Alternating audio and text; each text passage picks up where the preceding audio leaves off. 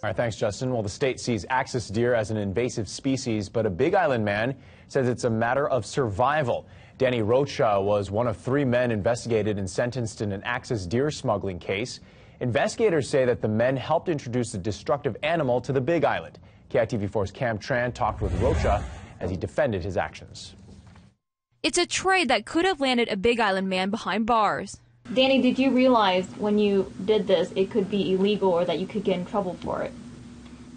No, not at all. Danny Rocha, along with Thomas Hopman and Jeffrey Gronhauser, were investigated for transporting axis deer from Maui to the Big Island in exchange for mouflon sheep. We feel by bringing the deer, we just we're just helping the cause that they're killing it. As part of a plea deal, Rocha pled guilty to raising sheep without a proper permit.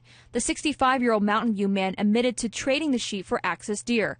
He and his lawyer defend those actions, saying bringing the deer to the Big Island is a matter of living off the land. Why not have the animals that could sustain this state in the wild in case of that emergency instead of have nothing when that emergency starts?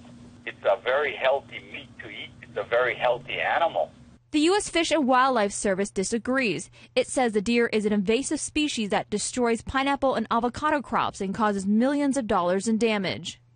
It's believed that they could cause up to $18 million annually in damage to agriculture and other industries if you use the numbers that we've got for Maui. So there's a significant concern that we'll have similar impacts to the Big Island. A federal judge sentenced Rocha to 100 hours of community service along with a $1,000 fine. For his service, Rocha says he is teaching Keiki how to use the land and natural resources to grow and prepare their own food. In the newsroom, Cam Tran, KITV4 News. Thanks so much, Cam.